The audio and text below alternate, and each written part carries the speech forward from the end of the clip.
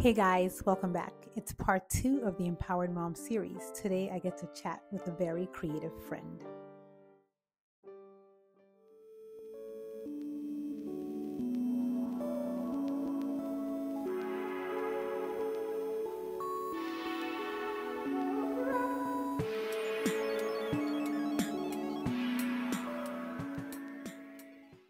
Hi, guys. Welcome back to my channel. I am Finda, your empowered guide in business, fitness, and fragrance. This is part two of the Empowered Mommy series. If you have yet to check the one that I did last week, part one, please find the link up here and you'll check it out. I wanted to do something for mommies because we're celebrating May, the month, uh, the month of May. We celebrate Mother's Day, and as mothers, we do so many things. And at the same time, while being great moms, we also want to do things for ourselves. So that's why I thought that to create an empowered mommy series where we actually would show that being a mom and also going after what you want it's a it's a definitely a juggling act but it's possible.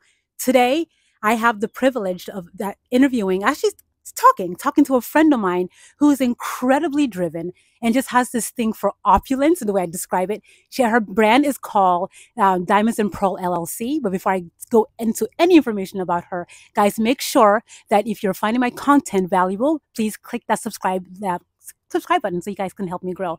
But further ado here is Quanda Quanda, how are you? I am well. We can share the mic. Quanda. Oh, okay. Absolutely. So, Quanda, my question for you is that how did you start and exactly uh, how did you get into what did you do and how did you start? Wow. I actually started here in my home. Um, it all began because I have so many incredible women in my life. Uh, I come from a line, a long line of entrepreneurs, uh, you know, business people, those who are in performing arts, and so doing what I do now didn't come hard. As a matter of fact, I was I was thinking about these people and the impact that they had on my life and how much time they spent giving to other people, not just nurturing their business, but giving to other people. And so I got the bright idea. I want to invite some of these women to my house and I want to do something for them. I want to pour back into them. And so I did that. And I had surprises waiting for them. I had a whole spa treatment waiting for them. I hired the ma- massage therapist. I hired uh, an esthetician for the facials. Uh, they had their pedicure kits. And I had a, a woman of God who actually to them on a, a personal level, one on one. And so they were being nurtured mind, body, and soul. And the fact that I was able to give that to them, it made me feel uh, uh, like I almost conquered the world, like I was some type of hero. That's amazing. I was going to say, sharing the mic as usual. Okay, that's that's amazing. My thing is Quanda, what you do because I've been to her events before, and what she does, she provides an experience. Like it's quite the experience It when is. whatever she's doing, and it takes a lot of work, Quanda, for you to actually create something that women can walk away from feeling special and just being wowed at the same time. Mhm. So, being a mom, because your boys are a little bit older, they're in college, how do you balance that out? How do you actually, you know, create that thing that you want to create at the same time, being a good mother at the same time? Okay, so when I first started doing this, my boys were much younger. They were in elementary school. The, the older one was in middle school. And I'm a person who likes to make lists and schedules. And I think that was very helpful in that I was able to budget my time by using my schedules and looking at the list to make sure everything was in place and you know my boys were pretty good. They were pretty easy so i, I didn't have uh, too much work when it came to managing them and managing what it is that i do um, and sometimes they helped. Sometimes i would have them package things for me. I would help them to carry things for me and i would also bounce some ideas off of them because they are brutally honest so they will tell me what works and what doesn't work That's awesome. It's um, being a mommy too. My son is much younger, but I he's been around us for photo shoots. He's been around us when we just he's watching exactly how we're putting this brand together. But he gets it. He gets it. So I feel like it's so awesome when your boys actually would be so honest with you, like, okay, what's work, what's not working. It's like you have your own like group right there to let you know. Okay, it's like this, okay, let's go for group. this. Fo- Exactly. You have your own focus group. I think that's so important for moms because it's as I said in the beginning, it's such a juggling act to be a good mom and also actually really go after what you want. And I feel like I wanted to show people that's why I created this series to let people know that it's so possible. It's possible, but you need that amazing team around you so people can also help you in that personal department, also when it comes to professional department. Mm-hmm. So I'm just really glad that I'm able to actually bring this to you guys when that, you know, Quanda really showing you guys exactly how she's able to create this amazing experience for women every time. So Quanda, question for you. What advice would you give other women that actually who would say, I'm not sure if I can go after what I want right now. My kids are younger or they're in school or every any other excuse that they may have. What advice would you give a woman right now? Just do it. Just it doesn't sound like much, but we'll always have a million reasons why we can't do what we want to do. Uh, because we're always helping everyone, right? We're we're mom, sometimes we're dad, uh, we're the nurse. Uh, we wear so many different hats. You have to really hone in to what is your passion. What is it that you're really, really good at? That's the thing you want to pursue and research it. Research it, see what other people are doing to help give you an not that you're going to steal what they're doing, to give you an idea of what it is that you should be doing. And then you add your own flavor to it, uh, your own personality. Um, and then plan. You have to have a plan. So we have these passions, but passion without a plan is just on paper.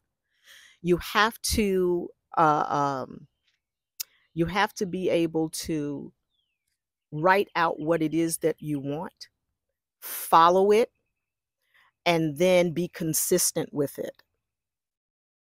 Because, con- well, I, I say be consistent with it because there are there are going to be some obstacles. Everyone experiences these obstacles. There's going to be ups and downs, and you have to be someone who is resilient. You have to be someone who is persistent and consistent at following what you're supposed to do, pursuing that passion. And I would also advise women to eventually get a team, get a team of other like minded individuals that sees your vision and that want to help you to make this vision come to life. So true. I agree with you a thousand percent. I completely agree with her. The one thing that you said that really stood out to me is you have to be persistent. Persistent is so important because, guys, to let you know out there, when you start something, when you write it on paper, it looks really good, it sounds good, but it always does not go as planned. But that's what you have to kind of push through. As when Quanda was saying, you have to be persistent, getting a team, all of those things. It's so imperative when you're going after that because at the end of the day, if you're not doing all that, you're going to feel so tapped out when it comes to just either pouring into your family or pouring back into your business. But when you have like that team behind you and also being persistent, it truly, truly does help at the end of the day. Yes. Absolutely. Yeah, because you need that support. Absolutely. You can't, no one can do this on their own. No. You have to have a support system. You have to have someone that will say, you can do this. You also have to have those people who are actually more knowledgeable about what it is that you want to do in your corner So so that they can help you in the areas where you're weak. Oh, I love that. Absolutely. And as like as I said, guys, like everything that she's saying, I completely agree with it. I've been no, almost 10 years, 10, 10 years in, but everything I had to learn. Trial and error, even being in front of a camera, it was a lot of trial and error, trial and error. But then I had to find exactly what my sweet spot was and then just kind of go for it. So I'm just really glad that I'm having this conversation, you know, with a friend about, you know, being an empowered mommy. But being that my content is a lot more, I would say, healthy food like focus, Yes.